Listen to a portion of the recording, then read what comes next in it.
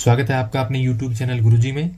आज हम कक्षा आठ की प्रश्नावली दो पॉइंट दो का पंद्रहवा और सोलहवा प्रश्न हल करेंगे। पंद्रहवा प्रश्न देखिए। मेरे पास तीन सौ रुपये मूल्य के एक रुपए, दो रुपये और पाँच रुपए वाले सिक्के हैं। यानी मेरे पास रुपए हैं तीन सौ और सिक्के कौन कौन से हैं? एक रुपए के, दो रुपए के, पाँच रुपए के। सभी सिक्कों का कुल मूल्य है तीन सौ। दो रुपए वाले सिक्कों की संख्या, पाँच रुपए वाले सिक्कों की संख्या की तिगुनी है।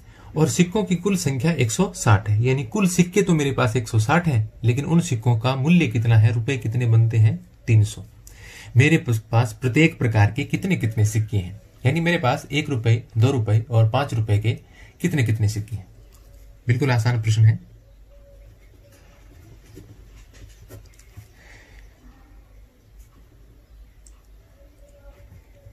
एक रुपए के सिक्के हैं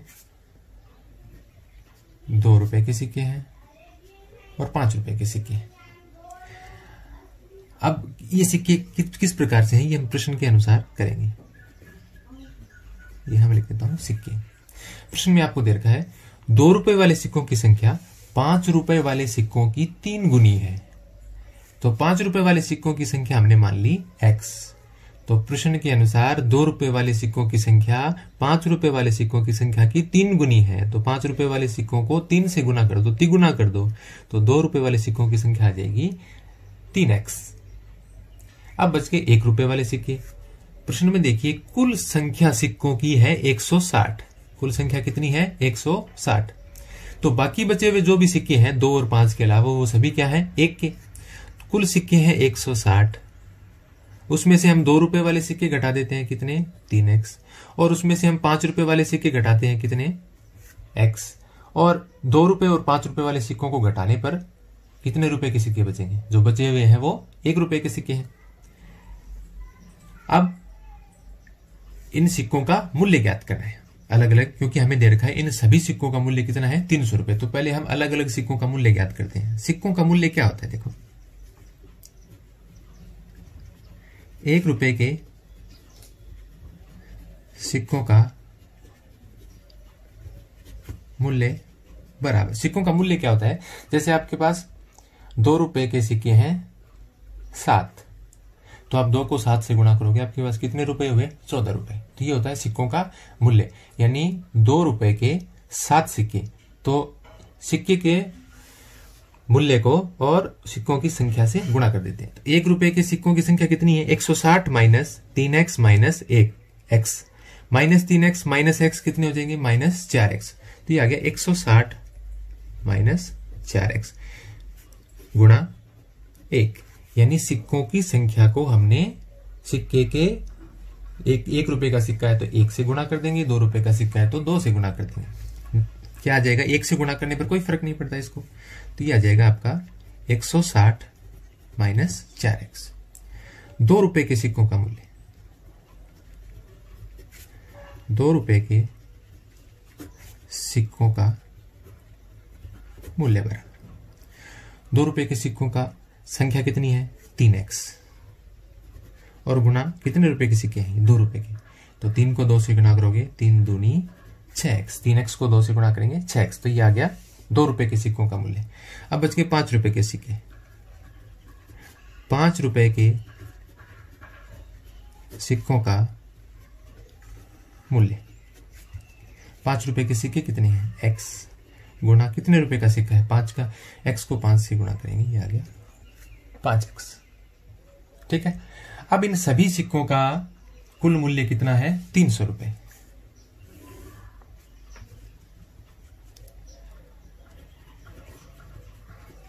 सिक्कों का कुल मूल्य बराबर तीन सौ रुपए। सभी सिक्कों का कुल मूल्य जोड़ दीजिए।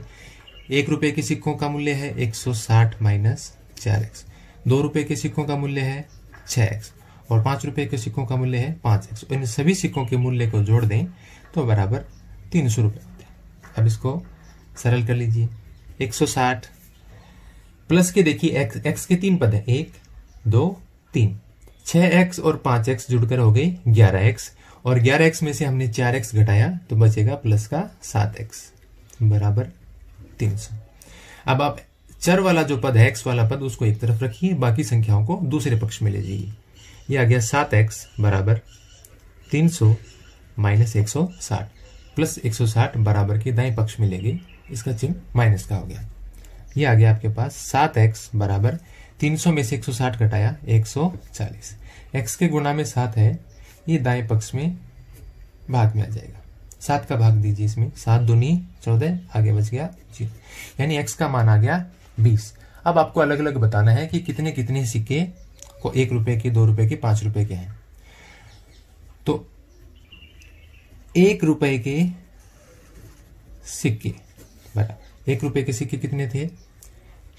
160 माइनस चार एक्स, एक सौ साठ माइनस चार एक्स तो 160 माइनस चार एक्स। ये आप पहले दो रुपए और पाँच रुपए के सिक्के निकाल करके और फिर बचे हुए सिक्के हैं, वो एक रुपए के हो जाएँगे, वैसे भी कर सकते हैं आप।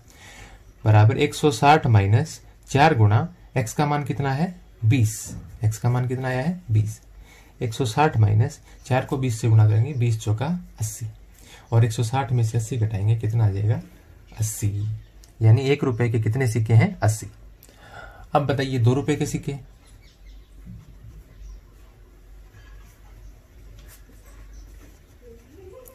दो रुपए के सिक्के कितने हैं? दो रुपए के सिक्कों की संख्या तीन एक्स यानी हम तीन को गुणा कर देंगे एक्स से। एक्स का मान कितना आया था? बीस। बीस दिया साठ। यानी दो रुपए के सिक्कों की संख्या कितनी है? साठ। पाँच रुपए के। सिक्के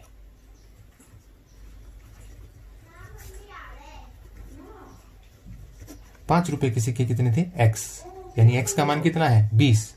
तो ये आ गया बीस. यानी पाँच रुपए के सिक्कों की संख्या कितनी है? बीस है। सोलह प्रश्न देखिए। एक निबंध प्रतियोगिता में आयोजकों ने तय किया कि प्रत्येक विजेता को सौ रुपए और विजेता को छोड़कर प्रत्येक प्रतिभागी को पच्चीस रुपए पुरस्कार के रूप में दिए जाएँगे। यदि पुरस्कारों में बांटी गई राशि तीन हज़ार रुपए थी तो कुल तिरसठ प्रतिभागियों में विजेताओं की संख्या ज्ञात कीजिए।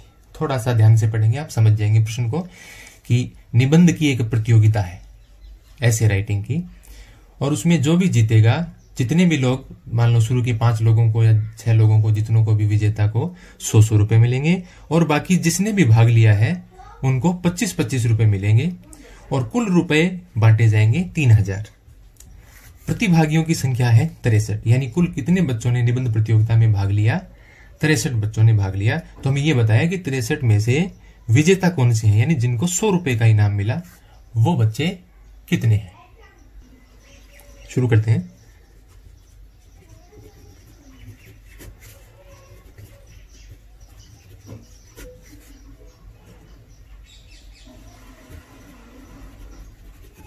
माना विजेता प्रतिभागी या विजेता बच्चों की संख्या एक्स है। कितने बच्चे जीते? एक्स कुल प्रतिभागी, आपको प्रश्न में दे रखा है, कितने बच्चों ने भाग लिया? 63 तिरसठ बच्चों ने भाग लिया। शेष प्रतिभागी कितने बच गए? जिनको पुरस्कार कम मिलेगा, यानी पच्चीस रुपए मिलेंगे, जो विजेता नहीं है।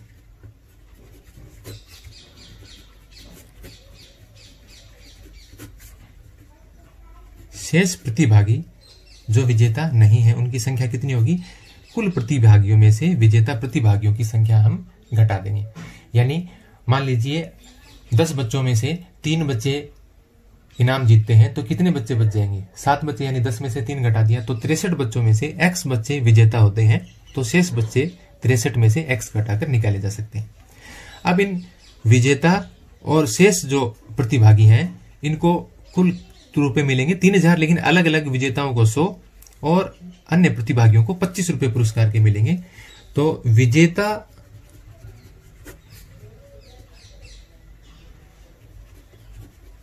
को मिले कुल रुपए। कुल रुपए। विजेता कितने आए? एक्स और प्रत्येक को कितने रुपए मिलेंगे? सौ। यानी जितने भी विजेता हैं, उनमें सौ एक्स रुपए बांट दिए जाएँगे। विजेताओं की संख्या एक्स गुणा एक विजेता को सौ रुपए मिलते हैं, सौ को एक्स से गुणा किया, सौ एक्स रुपए विजेताओं को बांट दिए जाएँगे। शेष प्रतिभागियों को मिले रुपए। शेष प्रतिभागियों की संख्या कितनी है? तिरसठ माइनस एक्स, जो विजेता नहीं है। और इनको कितने कितने रुपए दिए जाते हैं? पच्चीस पच्चीस। तो इसको हम गुणा कर देंगे, पच्चीस से शेष प्रतिभागियों की संख्या को 25 से गुणा कर देंगे तो कुल इतने रुपए इनको मिलेंगे। सरल कर दीजिए इसको तिरसठ को 25 से गुणा करना है। पाँच दिया पंद्रह, एक, छह, पाँच तीस और एक, इकतीस गुणा आपको आता है, मैं थोड़ा जल्दी कर रहा हूँ। दो तिया छह, दो छिक बारह। कितना आ गया ये? पाँच, छह और एक, सात, तीन, दो, पाँच और एक।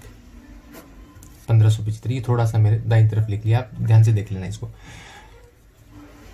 पंद्रह माइनस एक्स को पच्चीस से गुणा करेंगे पच्चीस एक्स ये इतने रुपए शेष प्रतिभागियों को मिलेंगे। कुल रुपए कितने बांटे जाते हैं? तीन। कुल इनाम राशि बराबर तीन हज़ार रुपए थी। कुल इनाम राशि तीन। यानी जो विजेता है और जो नहीं है, उनको मिलाकर तीन हज़ार रुपए बांटे जाते हैं। तो अब हम प्रश्न के अनुसार इसको लिख लेंगे। कितना आएगा ये देखिए, थोड़ा सा ऊपर कर देता हूँ इसको।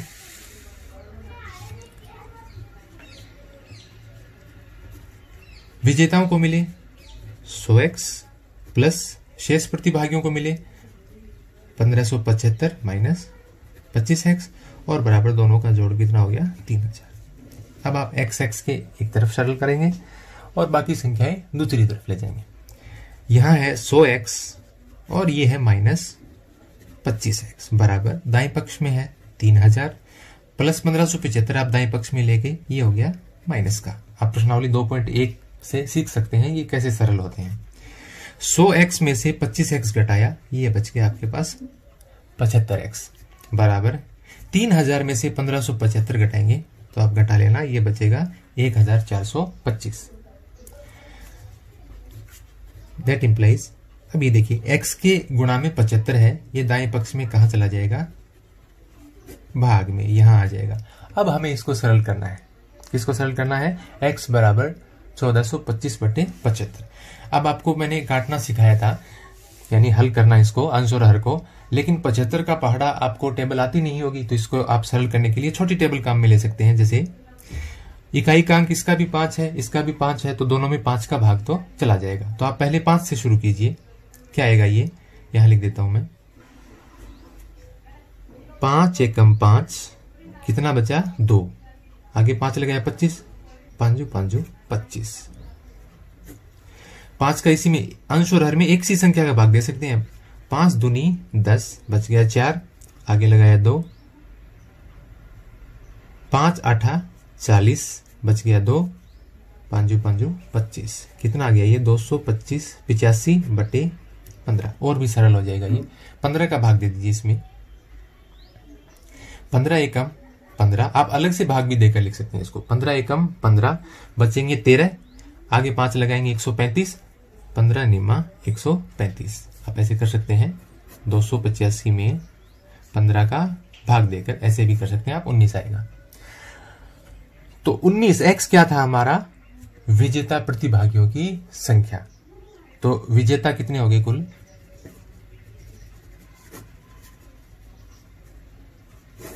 उन्नीस। यानी कुल बच्चे तिरसठ भाग लिया। उनमें से विजेता कितने हैं? उन्नीस